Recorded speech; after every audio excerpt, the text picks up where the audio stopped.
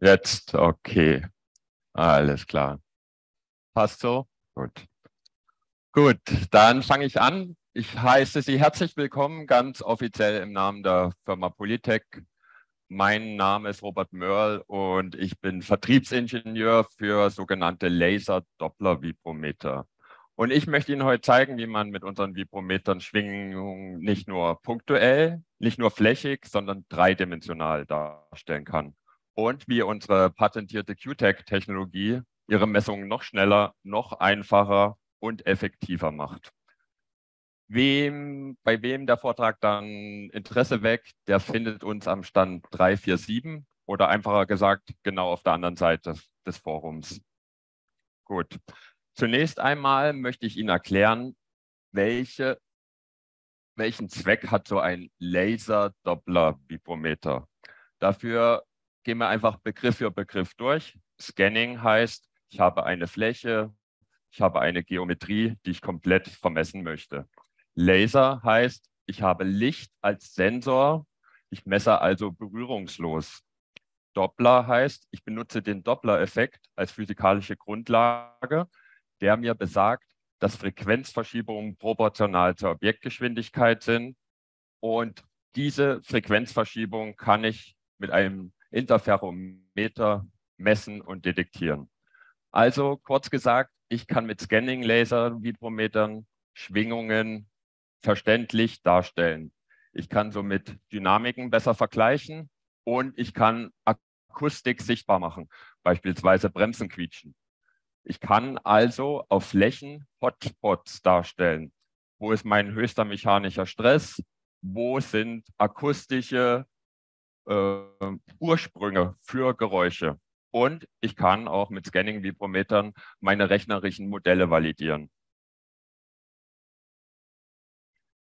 So, ähm, um auch die Vorteile eines Scanning-Laser-Vibrometers nochmal zu verdeutlichen, möchte ich Ihnen zunächst die Eigenschaften von Licht nochmal näher bringen, weshalb wir einen Laser als Sensor verwenden. Und zwar hat Licht keine Masse. Das heißt, gerade bei sehr kleinen Objekten, wer von Ihnen schon mal mit Beschleunigungssensoren gearbeitet hat, bringe ich eine Masse auf und diese verschiebt mir meine Eigenfrequenz und somit auch meine Dämpfung.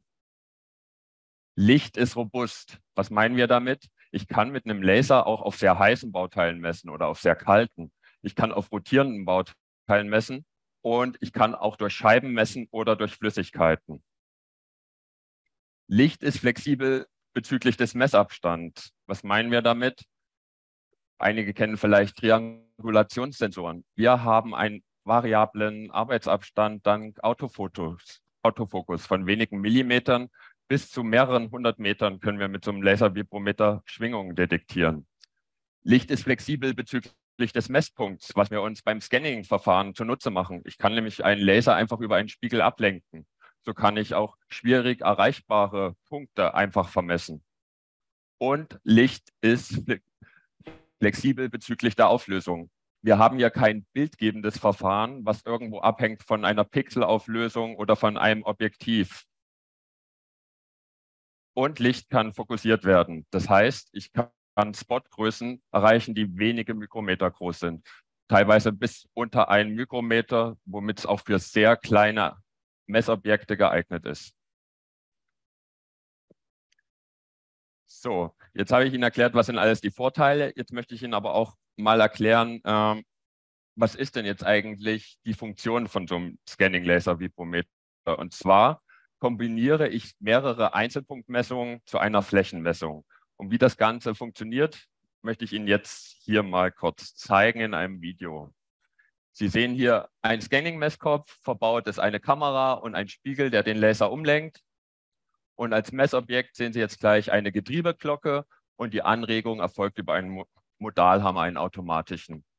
Und jetzt im Videobild sehen Sie ein Messgitter und für jeden Messpunkt erfolgt eine Anregung durch den Modalhammer. Wir reden hier auch von experimenteller Modalanalyse.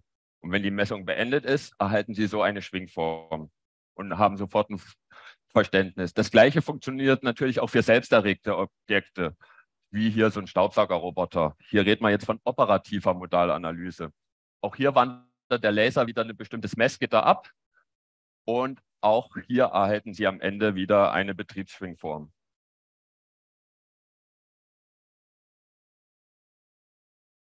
So, Wes weshalb ist es jetzt so wichtig, nicht nur eindimensional, also in einer Richtung, sondern dreidimensional zu messen? Fangen wir an einem einfachen Beispiel an. Wir haben eine Platte, beispielsweise eine einfache GFK-Platte. Hier ist die ganze Bewegung, die ganze Anregung, die Eigenmoten finden alle in einer Richtung statt, out of plane. Alles findet außerhalb der Ebene statt. Wir brauchen also nur eine Richtung, gleich ein Laserstrahl, um akustische Schwachstellen zu finden, bewerten und dann auch später zu beseitigen.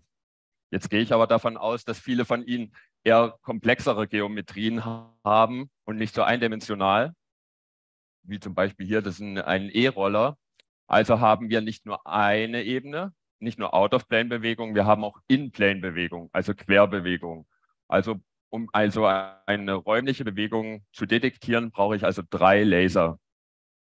Und mit den Daten von diesen drei Lasern kann ich dann natürlich auch wieder Schwachstellen finden und bewerten. Und zusätzlich kann ich diese Daten auch in meine Simulationsprogramme einfließen lassen und gleich weiterverwenden. So, wenn wir von 3D reden, dann reden wir natürlich nicht nur von Schwingformen, sondern auch von Geometrien.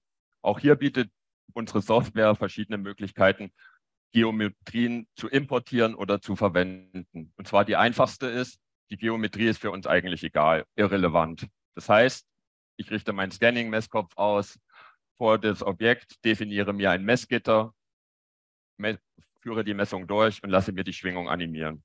Ganz einfach, sehr schnell und flexibel. Die nächste Möglichkeit ist, ich erstelle mir ein eigenes CAD-Modell. Wie funktioniert das? In unseren Messköpfen ist ein Distanzsensor und der gibt jeden Messpunkt eine 3D-Koordinate. So erzeuge ich aus, einem, aus einer Fläche dann einen 3D-Körper, den ich auch mit CATIA-Programmen zum Beispiel weiterverwenden kann uh, und kann mir das auch gleich entsprechend dreidimensional darstellen lassen. Und die most sophisticated Variante ist, ich kann mir natürlich auch bereits vorhandene Geometrien aus CAD-Programmen, aus FEM-Programmen importieren und habe so gleich mein festes Koordinatensystem und auch entsprechende Punktnummerierung, ohne dass ich das irgendwo im Post-Processing nachbearbeiten muss. Äh, als, als Daten sind da alle üblichen Dateiformate. In der Automobilindustrie ist es der ASAM ODS-Standard und in der Industrie äh, STL-Formate, UFF, alle, alles übliche Formate, die wir in unserem Programm verwenden können.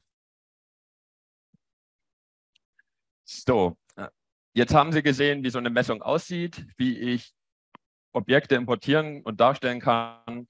Jetzt möchte ich Ihnen noch erklären, wie so ein 3D-Scanning-Vibrometer Sie bei Ihrer Produktentwicklung unterstützt. Dazu auch noch mal ein kleines Video. Ein 3D-Scanning-Vibrometer ist ein äußerst leistungsfähiges und hilfreiches Werkzeug, um Ihre Produktentwicklung zu optimieren. Sie verkürzen Ihre Entwicklungszeiten und erhöhen Ihre Produktqualität. Und zwar, indem Sie Ihre bereits berechneten Modelle validieren. Sie können Ihren eigenen Modaltest definieren, können entsprechende Parameter definieren. Der Scan läuft dann vollautomatisch ab, wird permanent von unserer Software überwacht und als Resultat erhalten Sie eine aussagefähige Animation, die Sie dann auch im Post-Processing weiterverwenden können. Sie sehen jetzt nochmal unsere 3D-Messköpfe und auch wieder die bereits bekannte Getriebeglocke. Die Spiegel lenken diese Laser wieder drüber. Und für eine 3D-Messung muss ich Ihnen sagen, ist es äußerst wichtig, dass die Messköpfe ihre Positionen zueinander kennen, um einfach die einzelnen Raumvektoren zu berechnen. Und dieses passiert mittlerweile vollautomatisch bei uns, was einen sehr hohen Bedienungskomfort erzeugt. Und dank unserer mittlerweile seit drei Jahren verwendeten patentierten QTech-Technologie erzeugen sie auf allen Oberflächen beste Ergebnisse. So erzeugen sie auch Ergebnisse, denen sie wirklich vertrauen können. So, was ist jetzt dieses QTech? Ähm, das größte Problem, wenn ich mit optischen Sensoren messe, ist, dass ausreichend Licht von meinem Messobjekt zurückreflektiert wird. Das heißt, ähm, der Signallevel hängt stark davon ab, wie viel kommt von meinem Messobjekt zurück. man kann sich vorstellen, dass besonders dunkle Kunststoffe oder wenn ich sehr schräg messe, dass das zu Problemen führen kann. Ähm, dank QTech ist das aber jetzt nicht mehr der Fall. QTech bedeutet Multidetektor-Technologie. Das heißt, ich nutze auch noch das letzte Quantum Licht, was mir vom Messobjekt zurückgestreut wird. So, Sie sehen jetzt hier auf der Seite zwei Diagramme, oben ohne QTech, unten mit QTech. Das, die blaue Linie ist die Out-of-Plane-Komponente, also was sich Richtung Laser oder Messkopf bewegt. Die rote ist, was sich schräg dazu bewegt. So. Man kann jetzt erkennen, okay, blau ist vielleicht noch relativ ähnlich, aber bei rot ist oben überhaupt nichts zu erkennen. Dank QTech können Sie aber jetzt auch die, die Antiresonanzen selbst bei den In-Plane-Frequenzen oder In-Plane-Moden ganz klar und deutlich identifizieren. So, also kurz zusammengefasst, was macht QTech? Welche Vorteile hat es für Ihre Messung? Es ist bis zu zehnmal schneller, weil ich keine Oberflächenvorbereitung mehr benötige. Viele von Ihnen kennen das vielleicht, die schon mal damit gearbeitet haben. Es gibt reflektierende Folie, es gibt Sprays, die die Reflektivität verbessern. Ist dann QTech wirklich nicht mehr notwendig? Schauen Sie sich draußen an. Wir haben dann einen ganz tollen Versuch vorbereitet. Ich bin weniger abhängig vom Einfallswinkel und dadurch vergrößere ich meinen Messbereich, den ich auf einmal aufnehmen kann. Somit brauchen Sie weniger Messpositionen, um auch komplexere Geometrien zu vermessen. Und ich erzeuge natürlich äh, weil ich bessere Rohdaten habe, auch vertrauenswürdigere Daten und bin auch im Post-Processing entsprechend schneller. Außerdem benötige ich auch weniger Mittlungen. So, ähm, für die, die noch nicht mit Laservibrometern gearbeitet haben, ja, schön und gut. Was meint der Mann hier vorne eigentlich? Jetzt ein kurzes Video. Was ist QTech? Und zwar sehen Sie hier eine Hand. Jetzt sehen Sie gleich, Sie sehen hier oben einen Laser und eine Hand. Der Laser ist nicht fokussiert und die Hand bewegt sich vor und zurück. Und Sie sehen hier unten jede Menge Signalaussetzer. Eine Hand ist eine technisch sehr ungünstige Oberfläche, ist sehr rau, wenig reflektiv, ist sehr herausfordernd für optische Mittel. Medien. So, jetzt sehen Sie den gleichen Versuch mit QTech an, enabled. Die Hand wieder bewegt sich vor und zurück. Der Laser ist nicht fokussiert. Sie haben immer ein perfektes Signal. So, was, was sind jetzt eigentlich diese Aussetzer? Dazu möchte ich Ihnen eine wichtige Eigenschaft von Licht erklären, das, oder von Lasern besser gesagt, und das ist die Kohärenz. Kohärenz bedeutet, dass das ausgestrahlte Licht, was ich habe, eine konstante oder Phasenbeziehung hat über Zeit und über Ort. Also sind Laserstrahlen interferenzfähig. Sie kennen, es gibt da zwei Interferenzen. Es gibt einmal die destruktive Interferenz. Das heißt, wenn die Phasen gegenseitig sind, löscht sich das Licht aus. Und wenn die Phasen gleich sind, rede ich von konstruktiver Interferenz. Jetzt hat so ein Laser hat natürlich auch einen gewissen Durchmesser, wenige Mikrometer, aber doch wahrnehmbar. Und eine Oberfläche ist ja nie perfekt glatt, sondern auch rau. Also wird der Laser an verschiedenen Stellen zurückgestreut und je nachdem, äh, auf welcher Position ich mich befinde, kann es sein, dass ich ein helles Beckel erwische und etwas sehe, also ein Signal erhalte, oder ich habe ein dunkles Beckel und habe einen Aussetzer und erhalte kein Signal. Hier nochmal als Video verdeutlicht. Sie sehen, Sie sehen den Laser, wie er über die Oberfläche wandert und sehen helle und dunkle Speckles. So, jetzt habe ich hier einen Detektor und je nachdem, wo ich mich befinde oder auf einem hellen oder dunklen Speckel, habe ich einen Geschwindigkeitsverlauf und habe entsprechende Signalaussetzer. Wenn ich jetzt aber anstatt ein Detektor mehrere Detektoren verwende, hier im Video verwenden wir drei, in Wirklichkeit sind es mehr, darf Ihnen aber nicht erzählen, wie viele, erhöhe ich die Wahrscheinlichkeit, dass sich irgendeiner meiner Detektoren immer über einen hellen Speckel befindet. Sie sehen es hier im Signalverlauf. Wenn ich die also in Echtzeit auswerte, die Detektoren, und kombiniere, erhalte ich somit immer ein super Signal. Jetzt sagen Sie, okay, ich konnte ja im Zeitsignal meine Bewegung oder meine Geschwindigkeit noch immer ganz toll äh, feststellen, wie sich mein Objekt verhält. Ich möchte Ihnen aber mal die Auswirkung von so einem Dropout zeigen. Und zwar ein Dropout im Zeitsignal ist eine breitbandige Anregung im Frequenzbereich. Das, wir reden auch vom Impuls. Und zwar, je, je kürzer der Dropout, umso breitbandiger die Anregung. Sie sehen jetzt hier unten, die rote Linie ist ein Signalverlauf ohne Dropout und hier oben äh, die blaue Linie ist ein Signal mit Dropout. Wenn man es jetzt vergleicht, okay, die, die oberen Spitzen sind die gleichen Werte, ist alles gut. Allerdings die kleineren Amplituden und Resonanzen sind nicht mehr festzustellen. Man kann also sagen, Dropouts sind Offsets des Rauschniveaus. So, jetzt habe ich Ihnen ein bisschen gezeigt, wie sieht so eine Messung aus, was kann man, äh, wie, was sind die Vor- und Nachteile, eigentlich nur Vorteile. Jetzt möchte ich Ihnen noch ein bisschen was zur Datenerfassung und zur Verwendung sagen. 3D-Laservibrometer kann man grundsätzlich für die verschiedensten Arten von Messungen verwenden. Sei es eine experimentelle Modalanalyse, das sind, reden wir über Frequenzbereiche bis ja, von 0 bis 20 Kilohertz, sei es die Charakterisierung von Ultraschallanwendungen. Hier sind wir typischerweise im Bereich unter 100 Kilohertz oder wir reden über zerstörungsfreie Prüfung oder Oberflächenwellencharakterisierung. Hier sind wir auf jeden Fall im höheren Megahertz-Bereich. Grundsätzlich können wir mit unseren Geräten Frequenzen im Frequenzbereich bis 25 Megahertz detektieren und im Zeitbereich bis zu 60 Megasamples. Und das bei maximalen Geschwindigkeiten bis 30 Meter pro Sekunde. Dann haben alle unsere Geräte auch noch die Möglichkeit, externe Sensoren einzubinden. Und unsere Referenzkanäle, das mir besonders wichtig zu erwähnen ist, verfügen über die gleiche nutzbare Bandbreite, also ebenfalls bis 25 Megahertz, sodass sie auch leicht Übertragungsfunktionen äh, berechnen können.